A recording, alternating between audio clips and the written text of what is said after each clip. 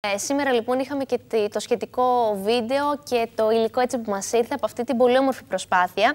Ε, ήταν σε μια δεξαμενή λοιπόν βρέθηκε στη Λεύκη Καστοριάς και αμέσως και από τον Αρκτούρο και από τη Διεύθυνση Δασών Καστοριάς στήθηκε όλη αυτή ε, η, η, προσπάθεια, η επιχείρηση ε, με τη βοήθεια βεβαίως της ε, εταιρείας Προστασίας Περιβάλλοντος Καστοριάς για να σωθεί το αρκουδάκι από το συγκεκριμένο σημείο και να ε, επιστρέψει ισό και ασφαλές στη μαμά του. Το τελευταίο χρονικό διάστημα είναι ένα από τα περιστατικά που έχουμε δει με μικρά αρκουδάκια που έχουν έτσι, αντιμετωπίζουν τα δικά τους προβλήματα. Ωστόσο, νομίζω ότι είναι μια πολύ όμορφη και τρυφερή ε, εικόνα και η στιγμή της επανένωσης, αλλά και όλες, όλη αυτή η κινητοποίηση η οποία υπήρξε από την πρώτη στιγμή για να μπορέσει το αρκουδάκι να σωθεί.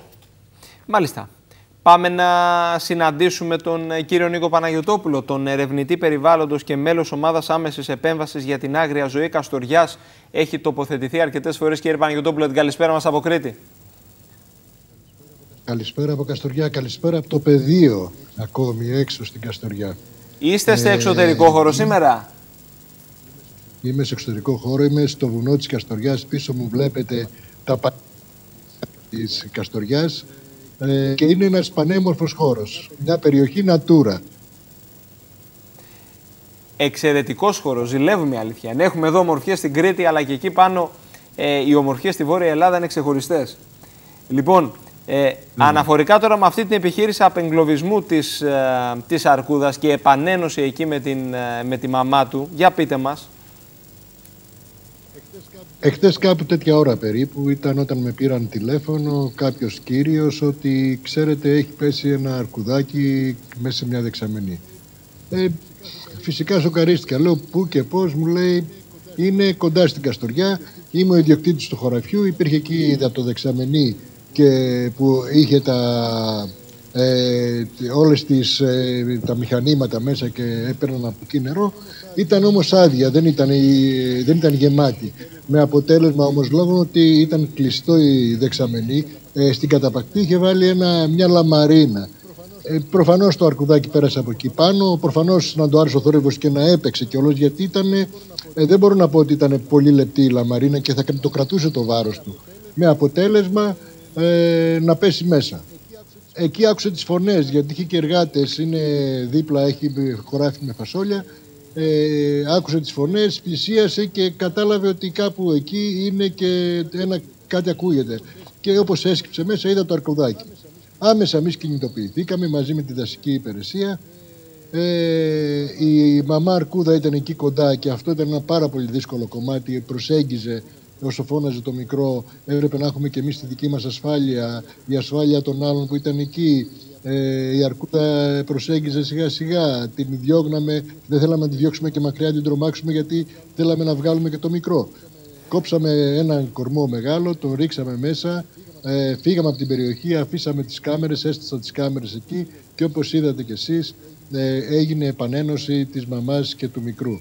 Και αυτό βέβαια ήταν μια ιστορία τελείως ανώδυνη χωρίς να χρειαστεί να ναρκώσουμε, να, να, να απεγκλωβίσουμε οτιδήποτε άλλο πήγε με φυσική εξέλιξη. Και αυτό είναι που μας χαροποιεί περισσότερο. Ότι και έγινε άμεσα αυτό, αλλά έχει μια φυσική εξέλιξη. Κύριε Παναγιωτόπουλο, επειδή εδώ τουλάχιστον ε, στην ευρύτερη περιοχή που είμαστε εμείς δεν έχουμε τέτοια περιστατικά.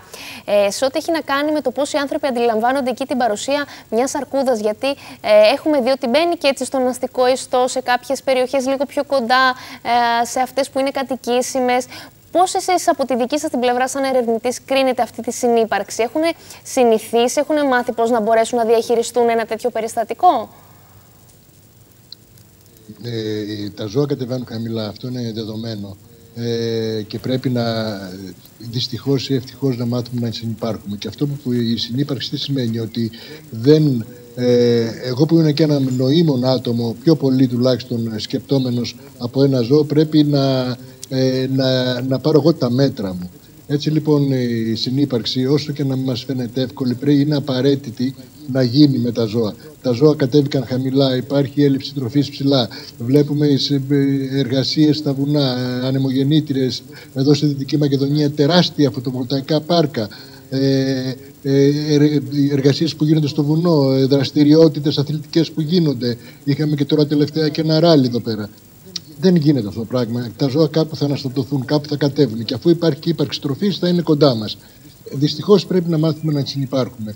Και εμείς είμαστε αυτοί που θα έχουμε το πάνω χέρι στη συνύπαρξης αυτή. Πρέπει να μάθουμε να προστατευόμαστε και να φυλαγόμαστε από το ζώο που θα έρθει στον κάδο μας, θα έρθει παντού. Το ίδιο συμβαίνει και σε, με άλλα άγρια ζώα και στην περιοχή τη δική σας. Κύριε Παναγιωτόπουλε, ένα τελευταίο σχόλιο αναφορικά με τον ε, Θωμά Survivor, ο οποίος έκανε μια προσπάθεια να επανέλθει έτσι στο φυσικό του περιβάλλον, αλλά όπως φάνηκε από τη συμπεριφορά του, ε, δεν προσαρμόστηκε. Και οπότε... επέστρεψε στον Αρκτούρο, ε. Και πόσο σύνηθες, πόσο συνηθισμένη είναι αυτή η επιστροφή σε αυτές τις περιπτώσεις. Κοιτάξτε, η επανένταξη, αυτό που εμείς λέμε πάντα, το χειρότερο κομμάτι για κάποιους ανθρώπους που ασχολούνται είναι η επανένταξη. Το να γίνεις εσύ μαμά ώστε να μάθεις να, το μικρό να τρώει οτιδήποτε άλλο να κυνηγάει. Εκεί λοιπόν πολλές φορές, λοιπόν, φορές αποτυχάνεις. Ε, κάτι τέτοιο έγινε στο Θωμά. Πλησίασε πάλι τις κατοικημένες περιοχές, πιθανόν το ζώο να είναι και τεμπέλικο κάποιες φορές, να θέλει να έρθει πιο κοντά, να έχει συνηθίσει πιο πολύ συναισθηματικά την παρουσία των ανθρώπων, να μην το πειράζει, αλλά δεν πάει να είναι μια αρκούδα και να είναι επικίνδυνη. Γι' αυτό ε, όταν πλησιάζει η κατοικημένη περιοχή, αφού υπήρχε μέσα το ζώο, ήταν μέσα από μωρό, ε, ξαναμπήκε στις εγκαταστάσεις. Σίγουρα ο Αρκτούρος ήταν εκεί για να το βοηθήσει να μεγαλώσει και να μπορέσει έτσι να έχει ε, μια όσο το δυνατό πιο κοντινή ε, ζωή σε αυτό που θα ζούσε και εκτός από τον Αρκτούρο, Αρκτούρο γιατί η προσπάθειά του είναι πολύ σημαντική και τα αποτελέσματα φαίνονται και στην κοινωνία. Ξέρετε, ο Αρκτούρος δεν είναι για να μεγαλώνει ούτε ζώα, ε, αλλά είναι για τα κακοποιημένα τα ζώα να μπορεί να ζήσουν το υπόλοιπο της ζωής τους με αξιοπρέπεια. Αυτά τα ζώα λοιπόν που είναι ορφανά και από, κάνει τις απόπειρες ο Αρτούρος να τα ξαναεπανεντάξει, έτσι πρέπει να είναι το φυσιολογικό. Δεν πρέπει τα ζώα να μένουν μέσα και να μεγαλώνουν μέσα σε εγκαταστάσεις περιφραγμένες, άσχετα είναι πάρα πολύ μεγάλες, ας πούμε, και έχουν μια ποιότητα ζωής.